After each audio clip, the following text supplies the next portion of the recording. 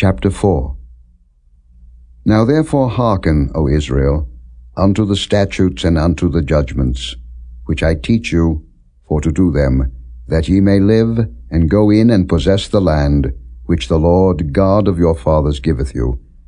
Ye shall not add unto the word which I command you, neither shall ye diminish aught from it, that ye may keep the commandments of the Lord your God which I command you. Your eyes have seen what the Lord did because of Baal Peor. For all the men that followed Baal Peor, the Lord thy God hath destroyed them from among you. But ye that did cleave unto the Lord your God are alive every one of you this day. Behold, I have taught you statutes and judgments, even as the Lord my God commanded me, that ye should do so in the land whither ye go to possess it. Keep therefore and do them, for this is your wisdom and your understanding in the sight of the nations, which shall hear all these statutes and say, Surely this great nation is a wise and understanding people. For what nation is there so great, who hath God so nigh unto them, as the Lord our God is in all things that we call upon him for? And what nation is there so great, that hath statutes and judgments so righteous as all this law, which I set before you this day. Only take heed to thyself, and keep thy soul diligently, lest thou forget the things which thine eyes have seen, and lest they depart from thy heart all the days of thy life, but teach them thy sons, and thy sons' sons, especially the day that thou stoodest before the Lord thy God in Horeb, when the Lord said unto me, Gather me the people together, and I will make them hear my words, that they may learn to fear me all the days that they shall live upon the earth, and that they may teach their children. And ye came near and stood unto the mountain, and the mountain burned with fire unto the midst of heaven, with darkness, clouds, and thick darkness. And the Lord spake unto you out of the midst of the fire. Ye heard the voice of the words, but saw no similitude, only ye heard a voice. And he declared unto you his covenant, which he commanded you to perform, even ten commandments, and he wrote them upon two tables of stone. And the Lord commanded me at that time to teach you statutes and judgments, that ye might do them in the land whither ye go over to possess it. Take ye therefore good heed unto yourselves, for ye saw no manner of similitude on the day that the Lord spake unto you in Horeb, out of the midst of the fire, lest ye corrupt yourselves, and make you a graven image, the similitude of any figure, the likeness of male or female, the likeness of any beast that is on the earth, the likeness of any winged fowl that flieth in the air, the likeness of anything that creepeth on the ground, the likeness of any fish that is in the waters beneath the earth. And lest thou lift up thine eyes unto heaven, and when thou seest the sun and the moon and the stars, even all the host of heaven, shouldest be driven to worship them and serve them, which the Lord thy God hath divided unto all nations unto the whole heaven. But the Lord hath taken you, and brought you forth out of the iron furnace, even out of Egypt, to be unto him a people of inheritance, as ye are this day. Furthermore, the Lord was angry with me for your sakes, and sware that I should not go over Jordan, and that I should not go in unto that good land, which the Lord thy God giveth thee for an inheritance. But I must die in this land. I must not go over Jordan, but ye shall go over, and possess that good land. Take heed unto yourselves, lest ye forget the covenant of the Lord your God, which he made with you, and make you a graven image, or the likeness of any thing, which the Lord thy God hath forbidden thee. For the Lord thy God is a consuming fire, even a jealous God.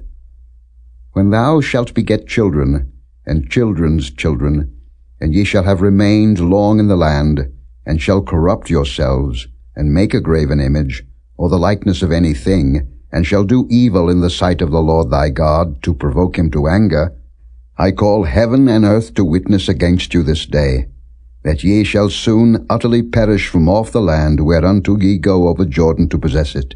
Ye shall not prolong your days upon it, but shall utterly be destroyed.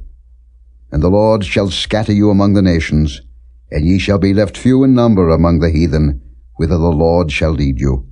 And there ye shall serve gods, the work of men's hands, wood and stone, which neither see, nor hear, nor eat, nor smell. But if from thence thou shalt seek the Lord thy God, thou shalt find him, if thou seek him with all thy heart and with all thy soul.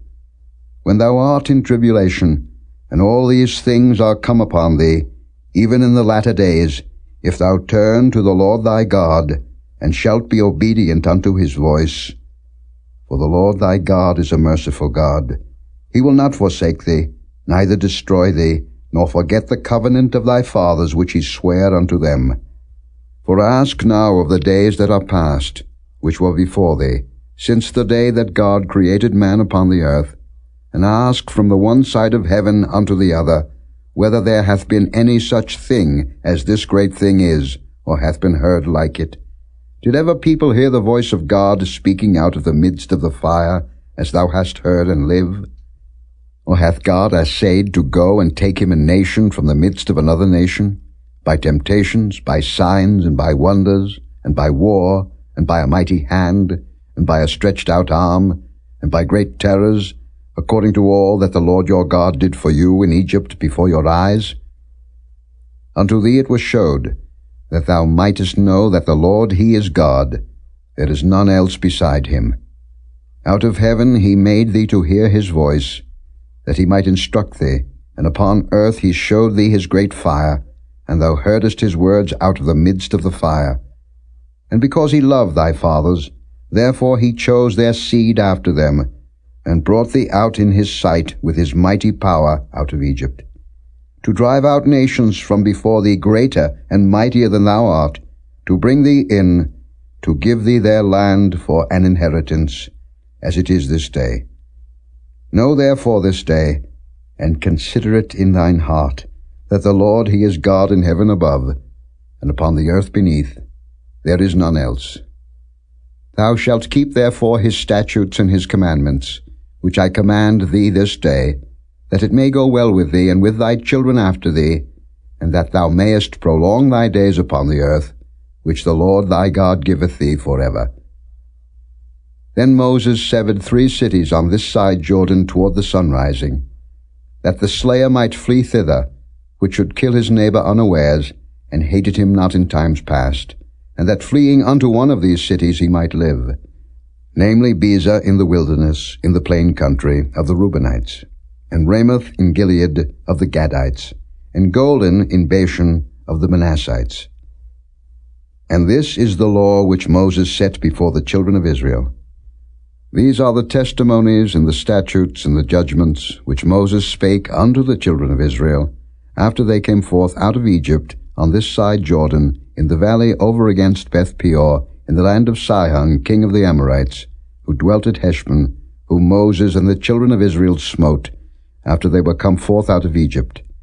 And they possessed his land, and the land of Og, king of Bashan, two kings of the Amorites, which were on this side Jordan toward the sunrising. From Aroer, which is by the bank of the river Arnon, even unto Mount Sion, which is Hermon, and all the plain on this side Jordan eastward, even unto the sea of the plain, unto the springs of Pisgah.